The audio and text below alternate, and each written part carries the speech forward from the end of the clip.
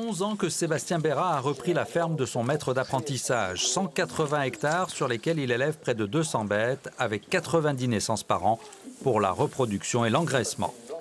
Très actif sur les réseaux sociaux pour expliquer et défendre son travail, membre de la marque Bovin des Combrailles, il vend ses bêtes au boucher et à l'intermarché le plus proche. Mais deux sécheresses consécutives et l'été 2019 sans eau, c'est une dépense imprévue de 54 000 euros pour acheter fourrage et aliments. On est beaucoup à douter. Euh, c'est la conjoncture va mal dans le milieu agricole. Euh, c'est vrai qu'on se demande où on va, qu'on n'a pas de, on n'a pas de vision à long terme. C'est vrai qu'on travaille au jour le jour et on ne sait pas où on va. Et pourtant, on sent votre attachement.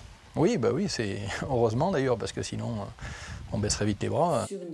Pour aider ces agriculteurs en difficulté, l'association Solidarité Paysan a mis en place des tandems.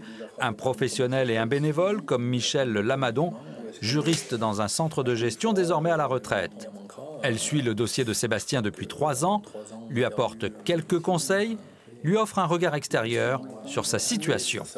Des gens en grande difficulté financière, parfois, euh, ben, on a du mal, ils ont du mal à en parler, donc euh, ils se renferment un petit peu sur leurs difficultés et, euh, et du coup, effectivement, ils vont plus savoir comment faire pour se sortir de. Mmh. Mais ce n'est pas le cas de tout le monde. C'est très divers. Très, les réactions sont extrêmement diverses. Moi, au moins, j'étais libre. Mais qu'est-ce que tu veux, en fait? Qu'est-ce que tu cherches? Quand la période des vélages sera passée, Sébastien Bérat prendra le temps d'aller voir le film d'Édouard Bergeon. Un million d'entrées, c'est énorme. Il fallait avoir le courage de le faire, parce que c'est vrai qu'on parle très peu de nous. Donc, euh, merci à, Édouard Bergeon et, et Guillaume Canet pour avoir fait ce film. Sur sa page Facebook, suivie par 2000 personnes, il a partagé la bande-annonce et relais les interviews du réalisateur et des acteurs.